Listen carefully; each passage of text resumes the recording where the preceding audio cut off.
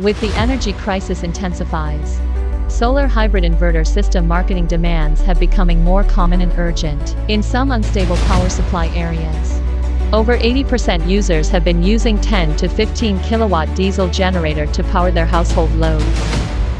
Although they would like to attempt to use lower electricity cost hybrid inverter system, but the output power of traditional single-phase hybrid inverter is generally lower than 8 kilowatts, which can't meet the electricity demand of a family completely. It reduces users' willingness to use a hybrid storage system instead of a single diesel generator. As a hybrid inverter expert, Deye combines the market demands. Launch the global first single-phase 16 kilowatts hybrid inverter. Single unit can meet the majority household's electricity demands. Meanwhile, Deye hybrid inverters support multiple units in parallel operation and provide convenient commission methods.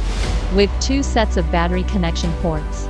Making the large capacity batteries connection easier and simpler. This is Deye new generation of 16 kilowatt single phase hybrid inverter with multiple functions.